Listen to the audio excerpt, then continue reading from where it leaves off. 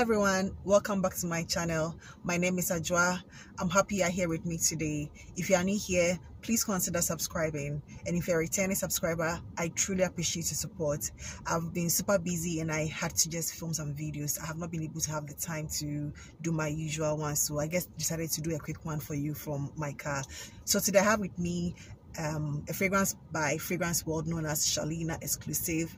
I'm not sure it's picking up too clear, so I'll feature it in other videos. This is Shalina Exclusive, supposed to be a dupe of Parfums de Marly's Delina Exclusive.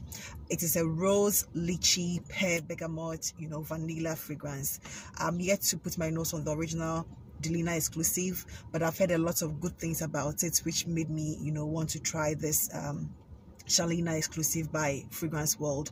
People have spoken highly about Shalina exclusive, and even a couple of reviews about Shalina exclusive that I have had, uh, I've, I've watched made it seem like it's a good dupe of Delina exclusive. So um, I decided to pick it up. It's um, less than $20 I picked it up for less than $20 and I'm really enjoying it. The rose is quite um, a fresh one. It's delicious yummy smelling with some vanilla. It smells very feminine very sophisticated it's a very good scent you know for 20 dollars you can't you i have i'm really enjoying this scent and um i've had it for over two weeks but i think i've gone a little deep in it.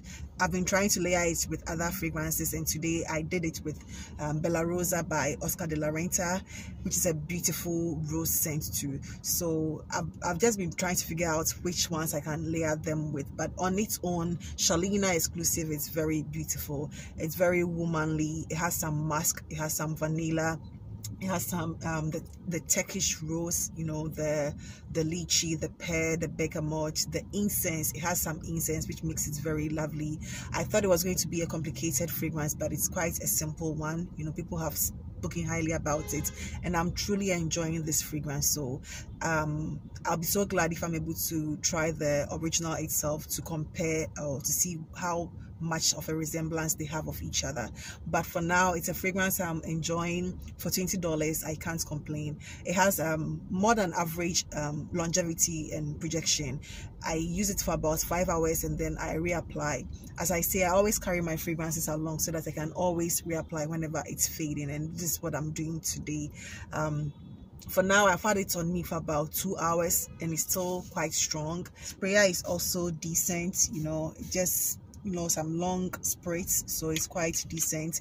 I really enjoy this and i'm, I'm glad i was able to pick it up for that price. So if you're also trying to figure out how to try or sample Delina exclusive and it's not readily available where you are yeah it's you can just pick this one up and try because i'm really enjoying it and i can't wait to have a feel of the original one. So this is my impression about um Shalina exclusive. I like it. I enjoy it.